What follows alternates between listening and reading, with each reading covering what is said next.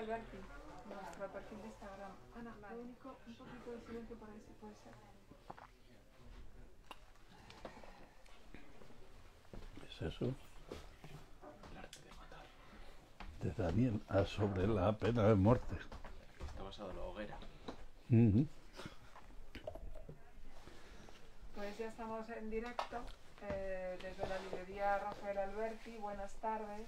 eh, buenas tardes a todos los que se estáis uniendo a esta presentación eh, de encuentros en Alberti en domicilio, a domicilio. Muchas gracias eh, Federico de Aro por venir aquí a presentar este libro, la primera biografía de- sobre Javier Crae, ni feo, ni católico, ni sentimental, editado en Reservoir Books y un gran placer, Julio, Julio Llamazares Repetir. Bueno, por volver y estar aquí siempre cerca, cerca de la librería Alberti. Estáis en vuestra casa, ya lo sabéis, y tenemos muchísimas ganas de, de conocer a Javier Crae. bueno, Javier Crae se tarda en conocerlo. Bien, eh, bueno, lo primero quiero saludar y presentar a Federico de Aro, de cuya, mm, ¿cómo se llama? Se, se dice en el argot taurino, la puesta al largo, no, la, Alternativa. la alternativa, de cuya alternativa... No soy yo muy taurino, pero. Estoy muy orgulloso de, de darle la alternativa en este mundo del libro, de dárselo además en, en- en sentido amplio, porque, a ver, este es el primer libro de Federico de Aro, que es un chico muy joven y con... Y, estoy seguro que con un gran futuro en el mundo del, del libro, no sé si de la literatura, pero sí del libro, porque este primer libro, que es esta biografía o antibiografía, no sé, luego hablaremos sobre ello, de Javier Crae, apunta muchas maneras. Es un libro eh, que a mí me llegó por, por- a través de la autora, quien conocí porque me entrevistó como a muchísima gente. Es un libro construido a partir de los testimonios de la gente que tratamos más o menos a Javier Crae, digo más porque aquí está su hija Violante, que le trataría muchísimo, otro lo tratamos como yo jugando al ajedrez y tomando gin tonics y teorizando por las noches en el Café Star de Malasaña, y otra gente porque era músico, porque era amigo, por lo que fuera, ¿no? El libro está construido a partir de los testimonios y uno es el mío.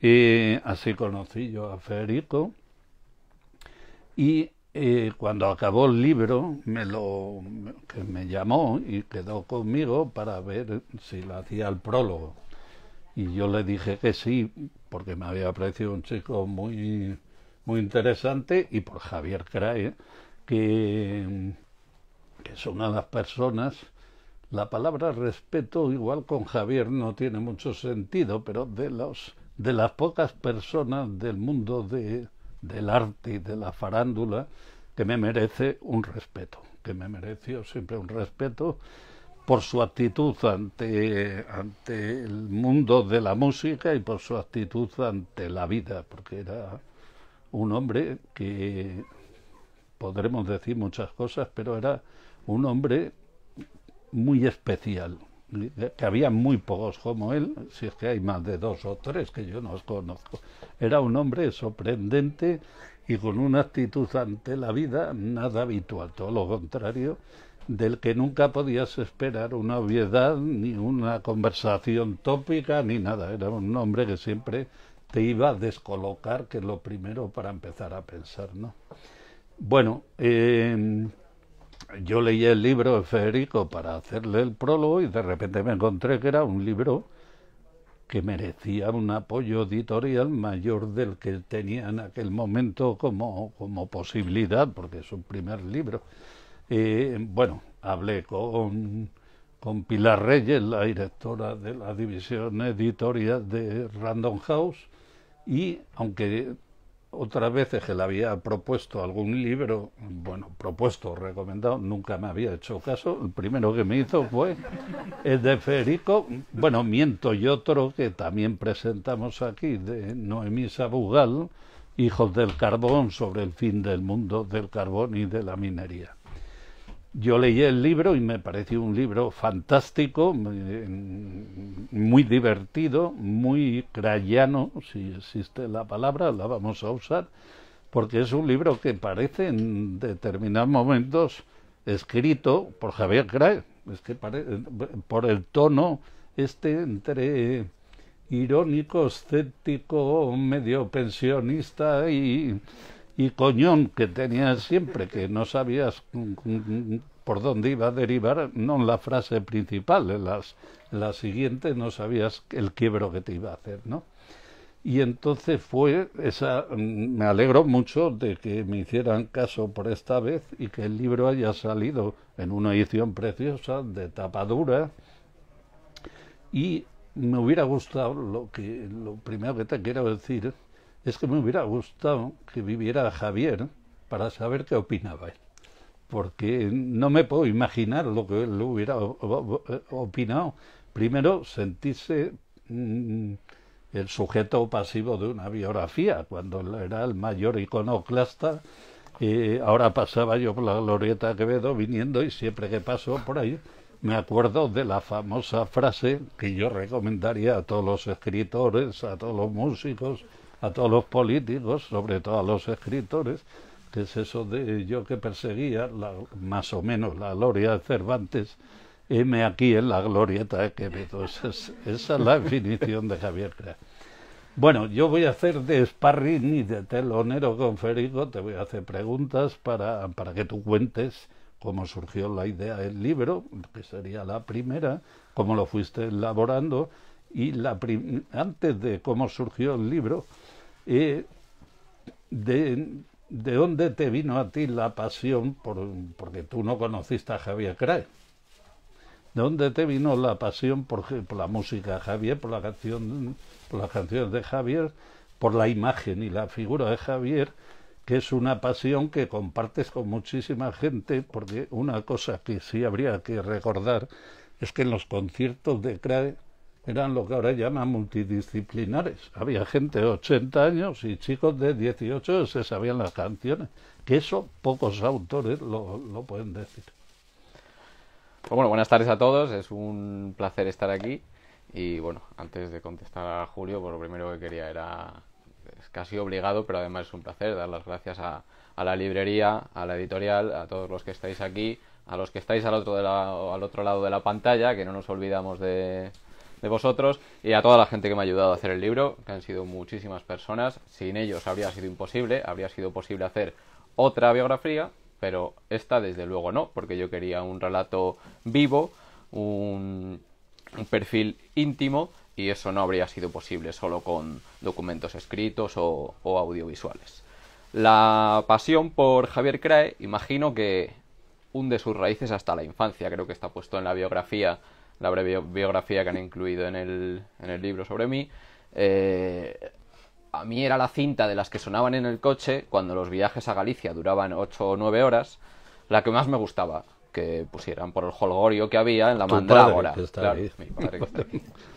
Y, una, y además ese disco empezaba con la canción de Marieta, donde Javier Cra dice gilipollas un buen número de veces.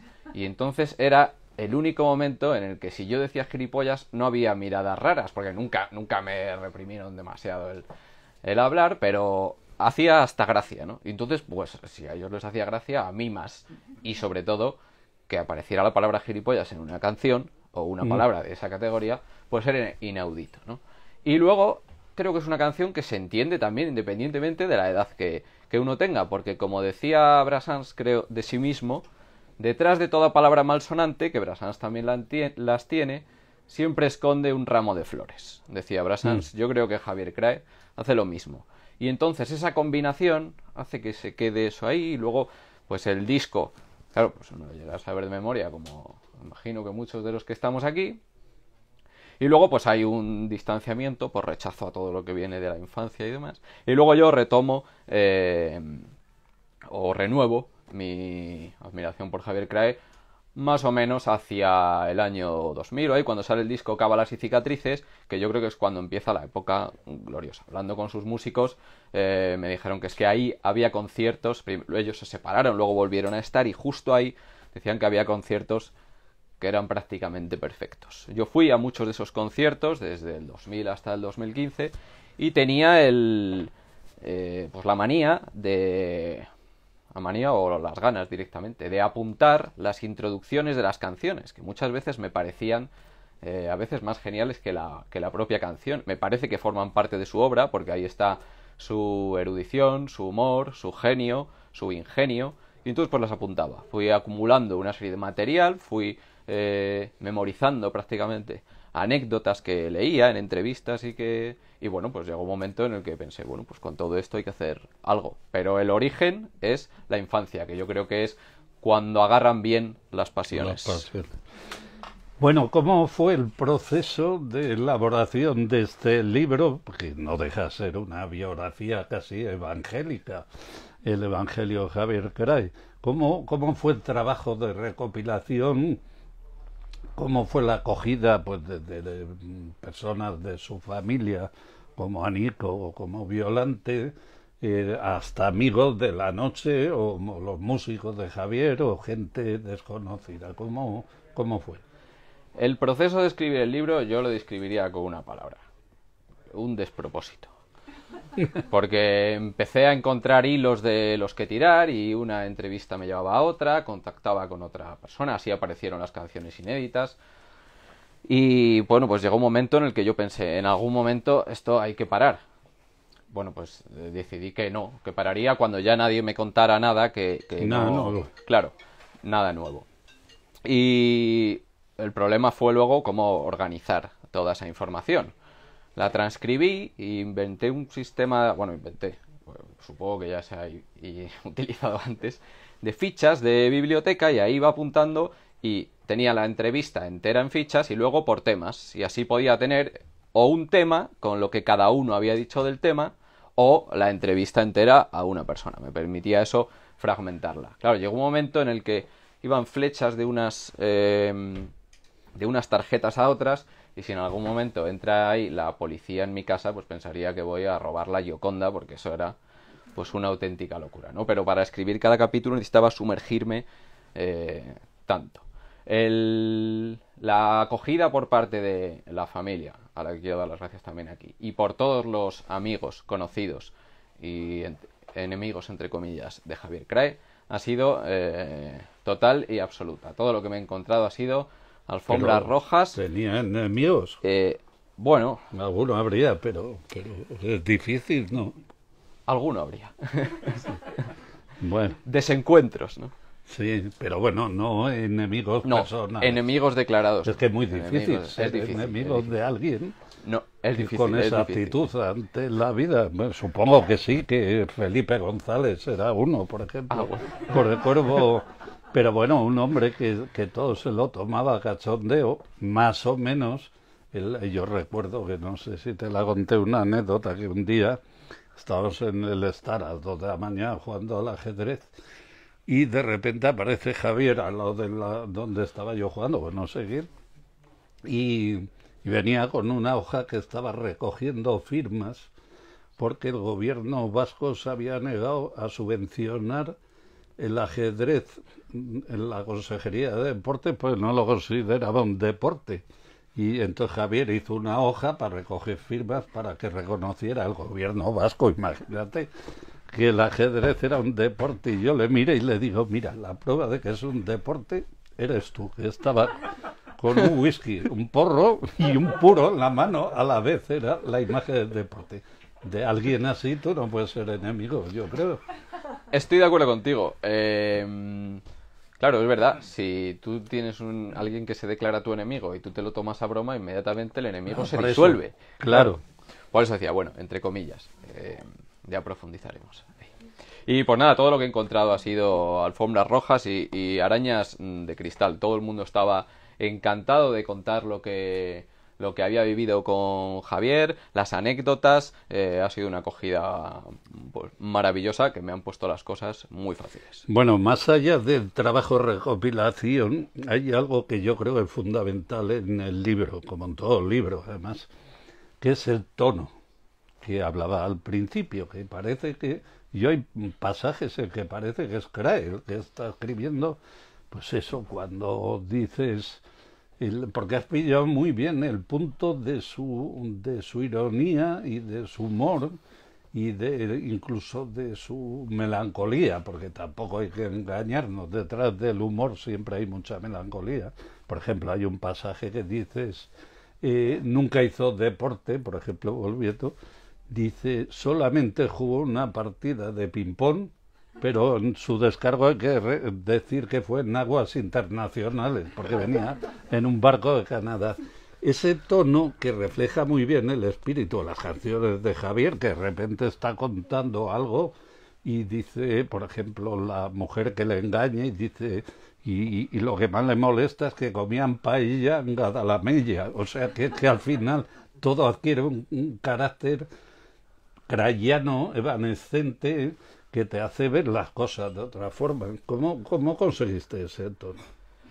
Pues mira, eh, me alegra mucho que me hagas la pregunta porque fue una auténtica tortura encontrar el tono. Los primeros capítulos, yo no sé cuántas veces los rehice, llegaba hasta el quinto, eh, se lo leía a la gente más cercana, de los cuales algunos pueden dar fe ahora mismo y lo han sufrido, y, lo volví a rehacer. Porque la biografía siempre hay el riesgo de la solemnidad y, en ningún momento has caído en ello. Pues al principio era solemne y entonces eh, luego era demasiado novelado y entonces dije no tampoco. Entonces el inicio eh, hasta que encontré el tono fue eso ha sido lo más difícil. Luego ya una vez que está encontrado el tono pues casi como que como que va saliendo.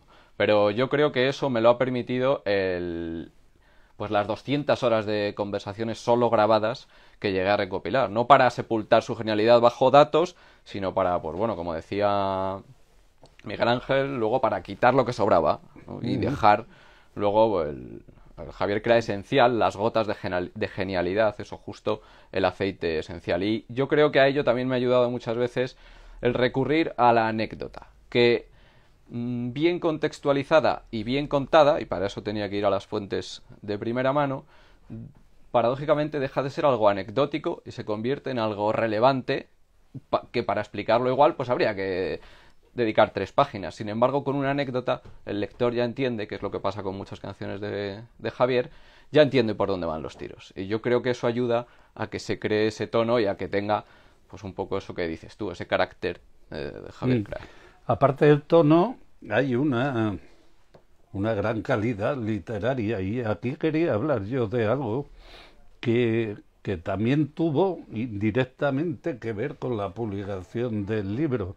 Eh, tú estudiaste eh, filología o periodismo, no sé lo que estudiaste, periodismo, y tuviste un profesor que te marcó, que fue Pedro Sorela, ya desaparecido, también como Javier Cray que además tuvo una influencia, por lo que tú me has contado, muy importante en ti y que se nota mucho en la calidad del lenguaje y del vocabulario y del uso de la palabra en orden a conseguir unos efectos de no solo Sorela, que era un gran escritor y un gran periodista, que era antagónico con lo que yo conocía Pedro Sorela, no, no era precisamente Javier Crae, pero también está el pozo de gente como Sorela en la redacción de este libro, que con ese tono evanescente y humorístico, irónico, a la vez tiene un peso literario o por lo menos de lenguaje muy, muy importante. Y además Sorela indirectamente tuvo que ver con la publicación del libro. Pues no sé si te conté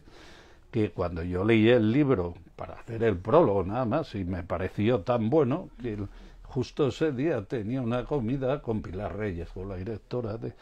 Y, y se lo llevé, digo, joder, pensaba que a lo mejor no sabía quién era Javier Crae, porque ella es colombiana, aunque lleva muchos años aquí. Por supuesto sabía y era fan de Javier Crae. Y me acuerdo con un detalle maravilloso, porque lo abrió, era el manuscrito, y en la dedicatoria es a Pedro Sorela, que acaba de morir hacía poco, y que era muy amigo suyo. Con lo cual, Sorela te echó un cable incluso después de muerto sin saberlo. Pues es exactamente como dices, me echó ese cable literal y me echó muchísimos cables porque fue un profesor que me marcó y yo creo que todos hemos tenido profesores que nos han marcado y sabemos lo importante que es eso. Con uno o dos que uno tenga, yo creo, a lo largo de una carrera universitaria, ya vale, si a uno lo marcan de verdad. Y en el caso de Pedro, además de, bueno, te agradezco mucho eh, tus palabras sobre la calidad literaria del libro que te voy no, a decir. pero que, verdad. Pero además eh, tuvo una influencia decisiva, porque en la dedicatoria pone a Pedro Sorela, con quien aprendí que nada está lejos. Y esa fue la mayor enseñanza que, que saqué de él. Em, creo que era, además de un profesor, un maestro. Si el profesor es quien enseña y el maestro de quien se aprende, pues creo que Pedro era las dos cosas. Y yo recuerdo el primer día en clase, ya que lo has sacado a, Pedro, mm, prácticamente a, no fue el primer día, pero a las pocas semanas nos encargó hacer una entrevista para la semana siguiente a un diputado. Entonces, entonces primero de periodismo, pues uno se queda diciendo, este señor se ha vuelto loco, ¿no? Bueno, pues al siguiente día, algunos lo habíamos intentado y yo ese día aprendí que entrevistar a un diputado para un estudiante de periodismo es una cuestión de tres minutos se consigue la entrevista. Yo llamé, no recuerdo ahora, bueno, sí recuerdo, pero no voy a entrar en detalles, y me dijeron, eh, sí, claro, eh, ¿alguno en concreto? Y entonces yo me quedé absolutamente fascinado y al día siguiente, a la semana siguiente allí, pues éramos algunos, mucha gente no lo había intentado y descubrimos que aquello que parece imposible muchas veces, una vez que uno lo intenta, no lo es. Y eso fue un, un punto de partida esencial para empezar a escribir la biografía, para tratar de, de contactar con la familia, para, para tirarme al charco y para intentarlo. El nada está lejos. Me acordé literalmente de aquel día que me encargaron entrevistar a un diputado y yo pensé, esto es imposible, voy a llamar, pero bueno, y tardé tres minutos. Y entonces dije, esto Pedro no me lo perdonaría. Entonces, ese fue el paso. Hoy, mm, pensando un poco para la presentación, aunque es muy corta porque tenemos poco tiempo, eh, me acordé y la escuché. a Javier Crae yo solo le oía hablar de un maestro que era Brasán. Y entonces me acordé de la cita que tú, por cierto, hablabas en alguna entrevista que te he leído para, la presentación, de la, de la famosa canción de, de Brasán, eh, súplica para ser enterrado en la playa de Set, de, de, su ciudad natal, ¿no? En el Mediterráneo francés. Y la escuché, y escuché a Brasán otra vez. Y, a raíz de escucharla busqué información sobre Set y leí un artículo de un escritor que se llama Usel Laoz en un suplemento de viajes hablando y decía una cosa que más o menos, bueno, para si no os acordáis de la canción, Brasán pide que le entierren, que no le entierren en un cementerio, porque el panteón familiar está lleno y le van a poner de perfil, bueno, en clave como escribiría Javier, ¿no? Y que tal, que le entierren en la playa, donde fue feliz de niño y para que pongan un pino para que dé sombra y se siente la gente hable con él. Y el, el artículo de Usel la voz venía a poner en duda que Brasán estuviera muerto, que si no estaría de vacaciones porque era donde pasaba. ¿Tú estás convencido que Javier eh, no está de vacaciones en Zara y no va a volver algún día? No, yo estoy convencido de que está de vacaciones. Como... Porque estuvo siempre. Claro, claro. Por eso el último capítulo es el eterno el estivante, el eterno veraneante. El eterno, yo creo que las vacaciones es una actitud vital, pero que se puede prolongar de sobra más allá de la muerte. De hecho, la muerte no me quiero poner grandilocuente, pero son las vacaciones de la vida. Entonces, pues ya cuando uno se muere, pues ya son las vacaciones ya. Es que además es curioso la coincidencia de la playa, en, el caso de los dos. Claro, porque además eh, murió en la playa. Exactamente. Y justo después de haber anunciado un año sabático que él llamaba selvático. Sí. Entonces, claro, la coincidencia es absoluta. Y además, en la canción que tú has nombrado, eh, Brassens eh, no recuerdo exactamente cómo son los versos, en francés sí, pero la traducción dice más o menos, eh, envidiaréis la muerte del eterno veraneante que pasa por la playa navegando, que vive su muerte de vacaciones. En un hidropedal. En un hidropedal en concreto. Que vive su muerte o que pasa su muerte de vacaciones. Entonces, bueno, pues ahí yo veía una similitud. La, la influencia de Brassens como maestro yo creo que es, es, absoluta. No creo que, creo que no reconoció a nadie más como maestro y con Brassens nunca tenía problema. En... Bueno, Federico, te voy a hacer dos preguntas ya, vamos, preguntas, son capotes para que hables de lo que quieras, eh, para ir acabando, porque mm, por esto COVID eh, hay que estar no más de media hora. Una es, tú que has estudiado, sabes, eres el gran geógrafo de Javier Cray, sabes más que nadie de él, ¿qué explicación das tú al que Javier Cray, sin ser cuantitativamente un músico de porque no lo quería Javier le, le encantaría una presentación así porque le encantaban. No, yo creo que no distinguía entre los conciertos y cuando él iba al bar porque lo que le gustaba era estar a, un metro de la gente con el whisky en la mano y luego acababa el concierto y él seguía o sea no cambiaba un poco bajaba la tarima. Y, y él siempre se mantuvo ahí ¿Cuál crees que es la clave del éxito, que a lo mejor cuantitativamente no es como el de Sabina, su amigo, como tantos otros, pero cualitativamente es mucho mayor que el de nosotros porque es gente muy diversa, como hablábamos, pero a la vez muy fiel. Es gente que iba casi como que va a misa a los conciertos de Javier Craig, que serían 20.000, 30.000 en España, pero que eran fieles seguidores de Craig. ¿Tú cuál crees que es la clave del éxito, Javier? Pues me parece una pregunta muy complicada y cuesta mucho eh, decirlo. Eh, creo que es verdad eso que dices tú, de que Javier Crae cuantitativamente no tenía la repercusión que ha tenido otros, pero cualitativamente, desde luego, sí, quizá no tuvo mucha popularidad, pero desde luego tuvo mucho prestigio, ¿no? Eh, era eso a lo que te referías, ¿no? Sí, sí, sí. Yo creo que Javier. Y luego tenía toda una serie de. No ya seguidores o gente que le. Yo no conozco a nadie que le gustara a Javier Crae un poco. O le gustaba mucho o no sabía quién era. Entonces, mm. creo que eso lo da el que en las canciones de Javier Crae y en los conciertos, eh, su sentido del humor consiste en colocarse en un sitio en el que no se ha colocado nadie antes. No digo un sitio original, digo un sitio completamente inédito. Y eso eh, les da a la gente, le da a la gente que va a verlo o a la gente que lo escucha algo que no le da a nadie más, ese punto de vista nuevo. Estoy pensando, por ejemplo, en el inicio de la canción Vecindario, que empieza Mi esposa padece furor uterino. No damos abasto ni yo ni el vecino. Vale, y ahora viene el punto de vista, que dice, y a mí me da pena del pobre Abelino. O sea, está compadeciendo al amante de su esposa ese punto de vista. Él se va de vacaciones. Él se va al hostal de al lado, claro.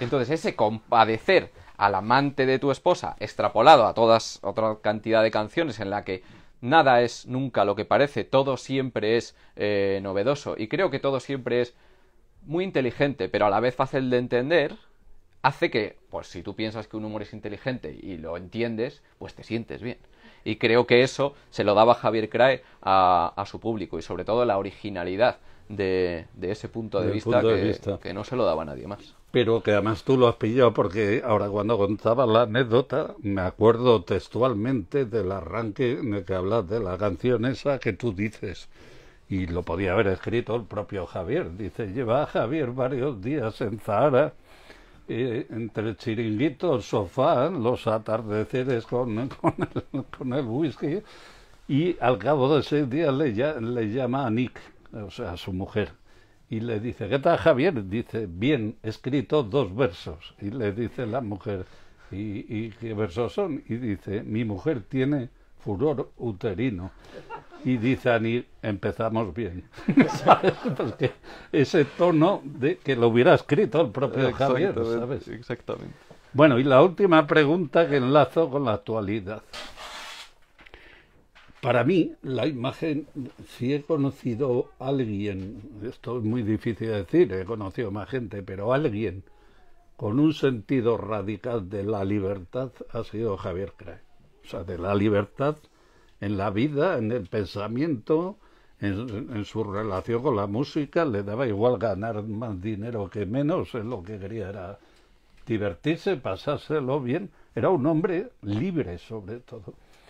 Pero ni siquiera decía, hablaba la libertad. Era la libertad era él, ¿no?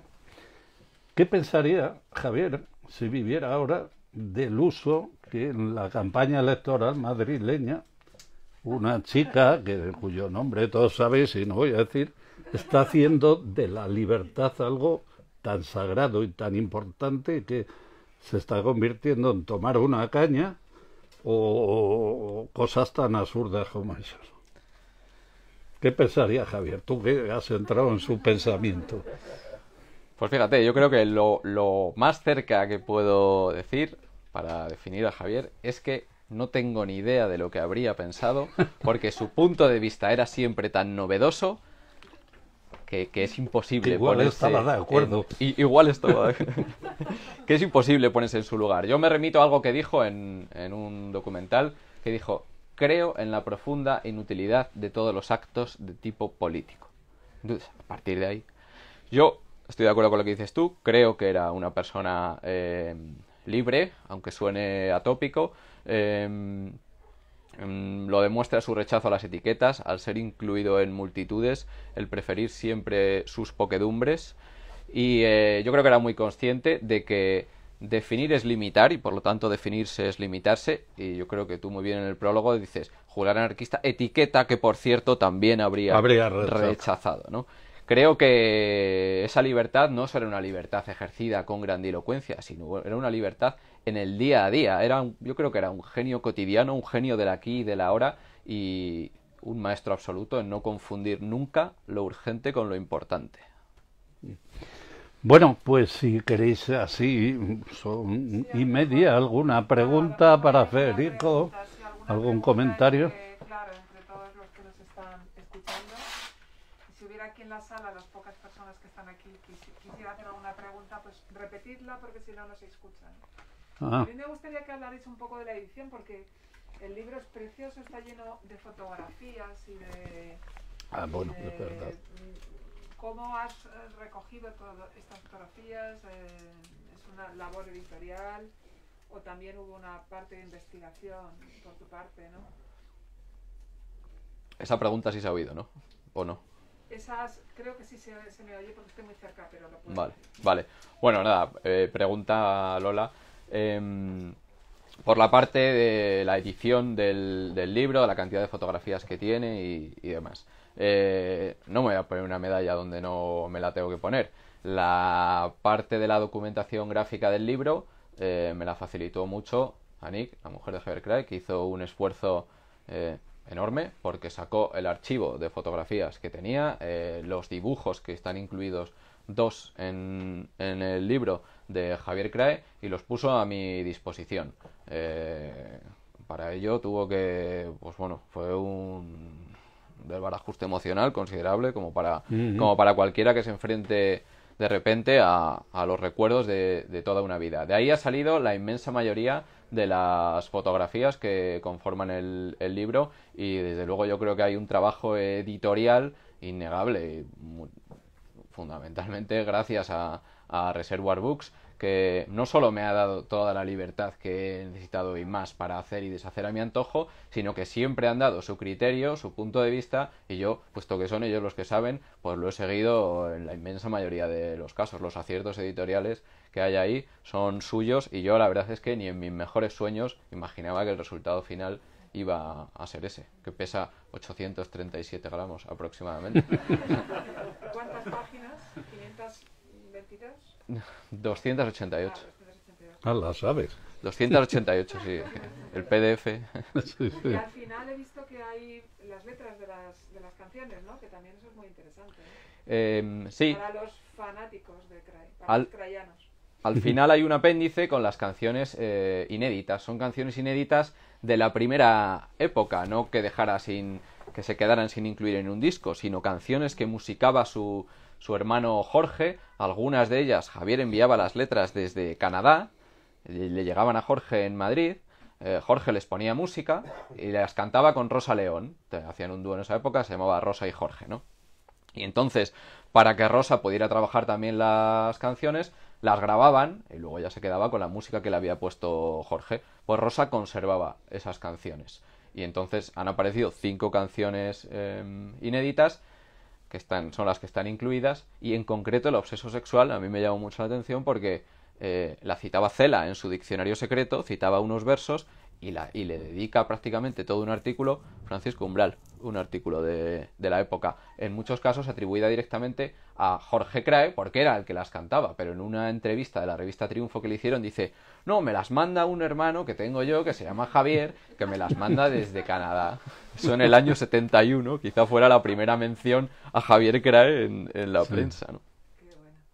Ah, el libro es una delicia, ¿eh? Para, para todos, para los crayanos convencidos y para los nuevos, yo creo, aficionados a la, a la música y a la poesía de Javier Crae, ¿no? Mm. Eh, a, a, ti, Julio, te ha sorprendido algo que no conocieras de Javier Crae leyendo la biografía de Fede? De Fede? Bueno, él me ha sorprendido casi todo, porque, a ver, yo tenía, yo con Javier Crae tenía relación los lunes por la noche, de 12... Hay una, hay una fotografía, he visto que hay una fotografía de una partida de ajedrez en... Sí. Sí, sí. Y era, además, es que era como jugador de ajedrez, era correoso, porque él le daba igual, a ver, no, no es que le diera igual perder que ganar, él era nada competitivo, no solo como músico, sí, pero al ajedrez sí se picaba un poco. Entonces, él era de estos que te cogía, bueno, éramos muy flojos todos, éramos jugadores de ajedrez de bar, que lo de menos era la partida, con que había un torneo, que el presidente del club era él, que le llamábamos el gran timonel, le nombramos, y solo dictó una norma que era que no se podía jugar en pantalón corto. Y entonces era de 12 a 4 de la mañana a las 5, y lo mejor era, al acabar las partidas, que el, café está, es un café normal, y luego tiene que baja dos escalones y tiene como como la sacristía donde está la barra, como Sacra Santorum, ¿no? Y ahí cuando iban acabando los que jugábamos, había varias partidas, acabamos todos ahí era donde reinaba Javier Cray, porque a esas alturas ya se había tomado dos o tres whiskies y estaba brillantísimo. Entonces, las conversaciones podían ser de lo más increíble. Tenía un partener que le daba mucho juego, que era Oscar Ladoire que le, le, picaba y gran timonel, ¿usted qué opina? Y el otro se tenía pero todo en clave de solemne pijotet, porque era como amanece que no es poco, era, era eso, ¿no? Entonces me sorprende todo. Yo me acuerdo una vez que me llamaron, cuento esta anécdota, no sé si la cuentas tú, eh, un amigo mío que organiza un torneo muy importante de ajedrez, pues para publicitarlo quería eh, hacer unas simultáneas que es para los que no sepan jugar al ajedrez es que uno un gran maestro juega contra 20, 30, 40 que es muy efectista pero en realidad no tiene es como si 40 nos ponemos a jugar al fútbol con Messi le da igual que seamos 40 que, que 60 ¿no? y entonces quería que fuéramos pues del bar los, los que éramos más conocidos pues, por, por nuestra profesión, pues Javier, Oscar, las dos iretas, y se lo dije a Javier. Digo, oye, me ha llamado, se lo expliqué, tú quieres jugar, y era contra Topalov, que era el número uno del mundo en aquel momento, y era aquí en Madrid. Y me miró arriba abajo, dijo, no. Digo, joder, pero ¿por qué no quieres jugar? Que siempre es un, un privilegio jugar contra el número uno del mundo. Y me miró arriba abajo dice, por la misma razón por la que nunca boxearía unas simultáneas con Mike Tyson. y dijo, bueno, luego fue, al final fue, porque no sé qué le convenció fue. Bueno, quiero decir que este libro, aparte del valor documental, el valor testimonial, literario, es un pozo de anécdotas maravillosas porque Javier Crae, él mismo, era un saco de anécdotas, no diría yo disparatadas, pero sí sorprendentes, y es de esos libros que precisamente por ello te hacen pensar, porque decía Emilio Lledó que el pensamiento surge de la duda, lo decía Machado también, eh, que la duda es la luz del pensamiento. Y como Javier Grae dudaba de todo, o no dudaba, pero no decía nada normal, pues al final es un libro que para la gente que se acerque a la figura de Craig le va a ayudar a entenderlo, pero le va a ayudar también a ver una forma de estar en el mundo diferente a la, a la común y una manera de pensar distinta, porque al final eh, uno tiene la impresión de que estamos muy centrados en encasillamientos y de repente llega alguien que todo te lo pone patas arriba. Incluso cuando empieza hablando en serio, a la segunda frase ya te descoloca. Y por eso es un libro que no solo para mí interesa a los, a los fanáticos de Craig de la música, sino que es un libro casi casi de filosofía, de, de un tipo de filosofía o de antifilosofía que viene muy bien en estos tiempos de dogmas y de, y de rajatablas y de amachamartillo y de, de estas de grandes solemnidades. Es un libro que es casi, casi filosofía. Pues sí ha quedado eso, eh, objetivo cumplido, porque no era otro. A mí lo que me ha fascinado siempre de Javier Crae, además de sus canciones, era esa manera de estar en el mundo. La duda permanente, que ya lo dice en la canción El cromosoma, prefiero caminar con una duda, con un mal axioma, y vale para todo.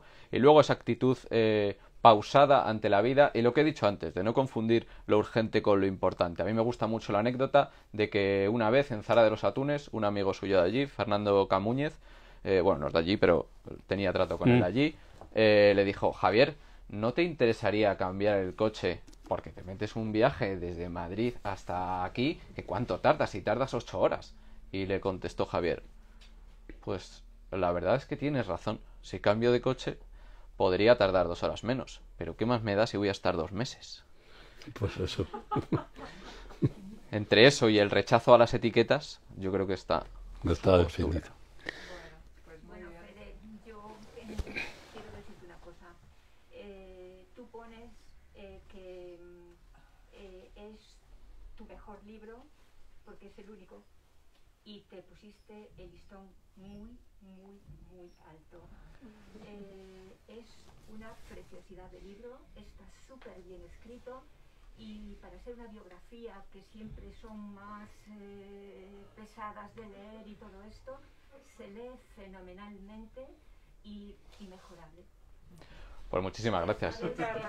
Llega un halago entre. que te quiero, pero no lo digo por amor, sino que lo digo porque es una realidad. Llega un halago entre el público que yo recojo plan, encantado y efectivamente es mi mejor libro y da la casualidad de que es el primero. Entonces, bueno, ya vendrán otros. Ya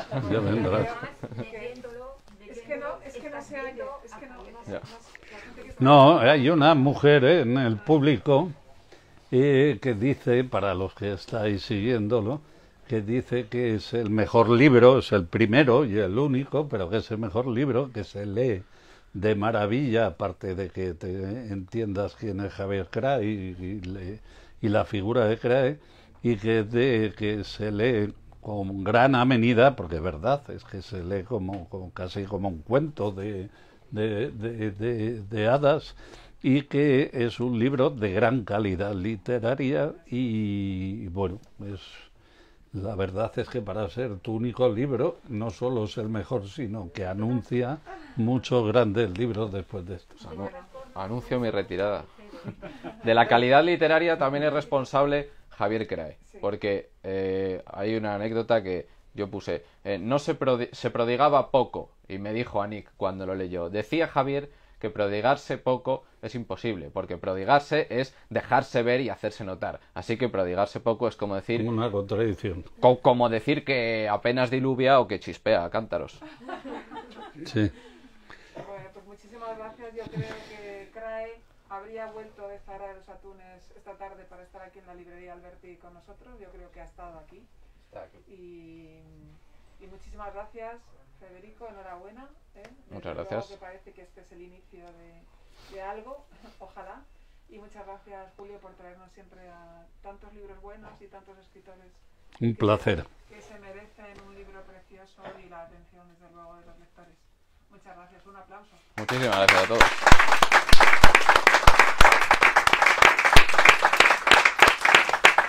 Y gracias a todos los que os habéis unido otra tarde más con nosotros a la librería Alberti. Muchísimas gracias a todos.